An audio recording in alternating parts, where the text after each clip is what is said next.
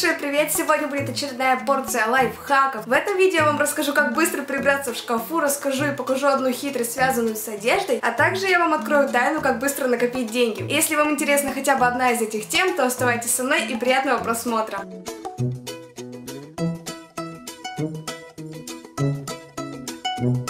Чтобы быстро прибраться в шкафу с одеждой, нужно просто сразу вытащить все содержимое.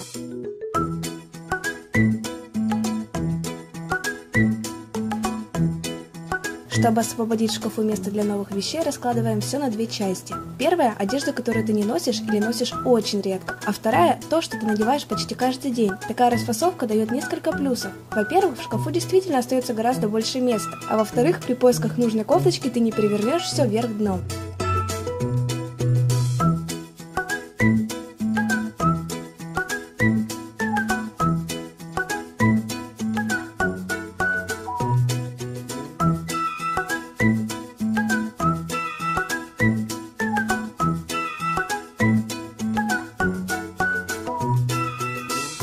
Как я обещала, расскажу вам маленькую хитрость, связанную с одеждой. Я думаю, у каждого есть в гардеробе такая вещь, которая собирает на себя всю пыль, шерсть животных, и каждый раз, когда ты хочешь выйти в этой вещи на улицу, приходится ее чистить. У меня часто бывает такое, то что я не могу найти у себя дома специальный валик, и приходится как-то изворачиваться. И в такой момент мне в голову пришла блестящая идея, это альтернатива валику, простой широкий скотч.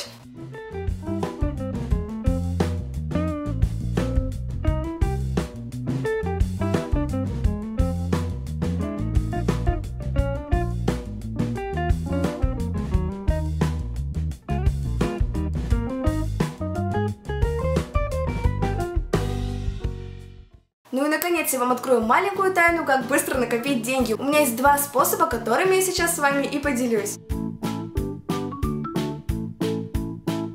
Итак, для того, чтобы грамотно начать копить, сначала определись, для каких целей ты будешь это делать. Потом попробуй посчитать, какую сумму в неделю ты тратишь на себя и что у тебя остается в конце. Это поможет тебе сориентироваться в своем нынешнем финансовом положении. Дальше бери небольшой блокнот и распиши подробно, какую сумму ты в силах оставить в конце каждой недели, только для того, чтобы она с каждым разом все росла и росла. А если ты хочешь подкопить к определенному дню, то укажи то красное число, которому у тебя уже должна быть сложиться полная часть.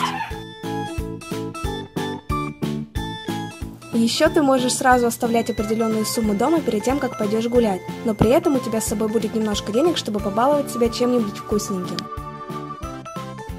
Хей, и подошло к концу это видео. Если оно вам понравилось, то не забывайте ставить ему палец вверх. Также подписывайтесь на мой канал, мне это приятно, а вам это сделать не трудно. Также оставляйте свои комментарии внизу под видео, какие рубрики вы хотите видеть на моем канале, или есть у вас какие-то идеи для лайфхаков, которые я включу в следующий выпуск. Ну а я вас всех очень сильно люблю, целую, обнимаю. Пока, ребят!